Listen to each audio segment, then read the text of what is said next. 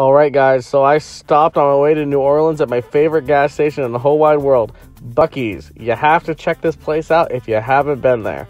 So, on to New Orleans. Look at the beautiful decoration on that balcony there. I love the style in New Orleans. So, the first place I went to was the World War II Museum. As you can see here, the museum is loaded with different kinds of planes, different kinds of ships, equipment like this German plane here, and lots of information. You can learn about all the different commanders and generals from the war.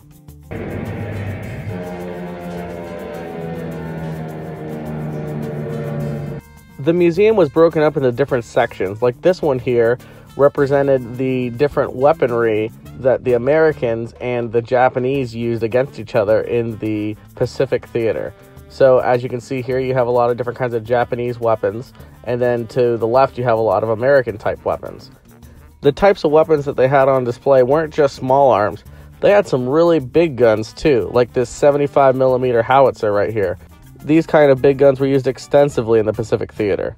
Next, I checked out the German section, which was pretty spooky, and they had a lot of different cool guns. This is actually a recoilless rifle, not a bazooka like it looks like. That is a bazooka right there, a type of bazooka. That's more German weapons over there on the right.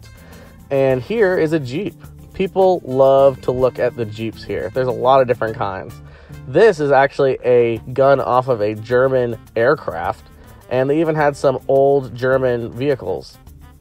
This is Legos in the recreation of D Day. If you remember D Day, these are Legos recreating the battle.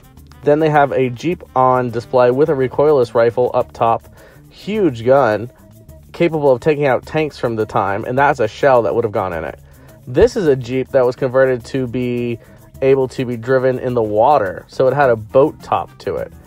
They had a lot of different planes. You can learn all about the different kinds of American planes and British planes. They had French money from back in the day, which was really interesting. They had passports and different kinds of tools people would used. They even had some propaganda posters and letters like these over here for the Italians and the Germans. You could even take a step back and look at what a house would have been like in the 1940s. They had a section for all the Japanese Americans who were rounded up into camps in the United States in the 40s.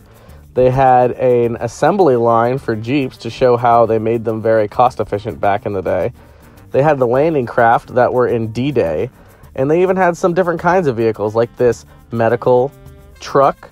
This piece here is very interesting. This is actually a listening device that the Germans used to spy on Americans. After the museum, I went down to the French Quarter and got to check out the cool knickknacks that they had in the gift shops. Man, I love the French Quarter. It's gorgeous. They have it right by the water so you can see all the different ferry boats, and you can have a muffuletta, which is a great Italian slash Cajun kind of sandwich, and you have to have beignets. Mmm, beignets, so good. Next, I took a stroll through the park right next to St. Louis Cathedral, a beautiful cathedral right in the middle of the French Quarter.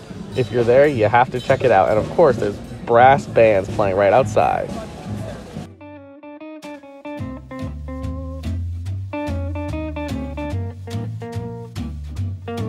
What's a stop to Louisiana without some delicious Tabasco sauce? you have to get your Cajun pepper sauce while you're here, and they have a lot of different options for you. You can get the sauce, you can get the cloves, you can get anything with Tabasco sauce there. Well, I hope you all liked my video. Don't forget to like and subscribe, and as always, guys, have a great day. Thank you.